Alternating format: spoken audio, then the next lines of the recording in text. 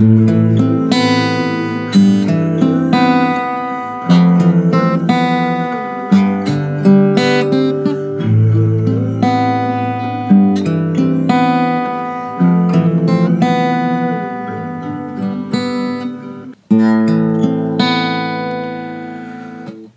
chords used are the first one is A minor.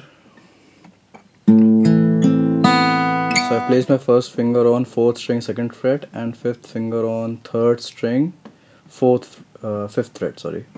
So it goes like I'll show you my right hand later. Let's just first notice the chords. The next chord is A minor slash G तो ये जो middle finger है इसको third freight six string में अब इसी का base note F करना है तो क्या करेंगे हम लोग? यहाँ से so I am doing is ये जो सेकेंड स्ट्रिंग है, इसको मैं फ़र्स्ट फ्रेट पे एक बार कर रहा हूँ then I am leaving it open like फिर जो जी है it is just the root note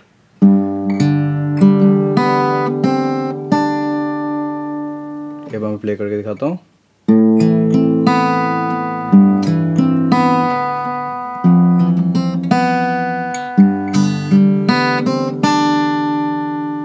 एक बार इसको सॉन्ग के साथ प्ले करते हैं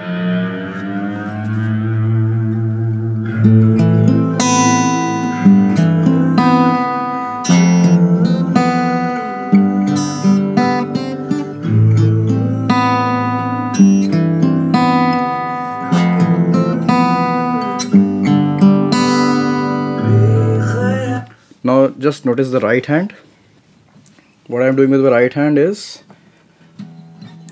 कोई भी आप फिंगर पिकिंग से सॉन्ग करो तो उसका रूल होता है कि थम से आप सिक्स फिफ्थ और फोर्थ को संभालते हो, बाकी तीन फिंगर इससे है तो कोशिश हमें ये करनी है। सो द फ़र्स्ट इज़ जो ए माइनर था।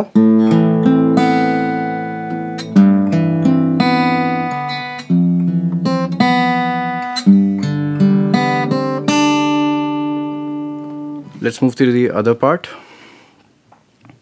जो नेक्स्ट पार्ट है, उसमें कॉर्ड्स हम देखेंगे। कॉर्ड्स है, उसमें एक डी माइनर है। So fifth fret third string और सेकेंड स्ट्रिंग में सिक्स ऐसे। और फोर्थ स्ट्रिंग ओपन है। इसका जो फिंगर स्टाइल है, वो कुछ ऐसे होगा। बाद में आपको राइट हैंड दिखाऊँगा। द नेक्स्ट कॉर्ड इज़ इसी का F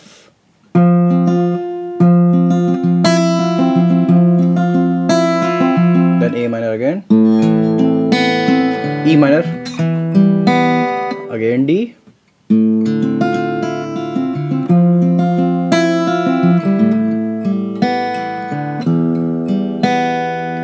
एक बार इसको सॉन्ग के साथ प्ले करते हैं।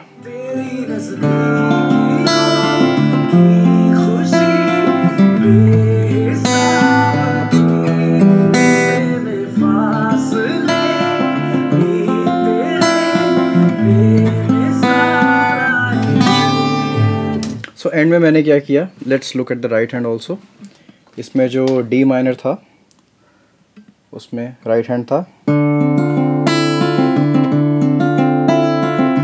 सेम एफ़ में। ए माइनर सेम जैसे हमने पहले बताया था। देन ई e, फिर से वही साइकिल फिर से रिपीट है।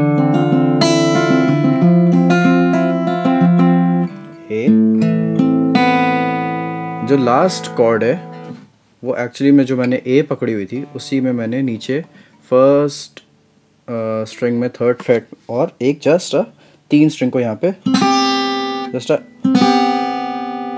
सो so, एक बार पूरे सॉन्ग का रन थ्रू करते हैं फ्रॉम द स्टार्ट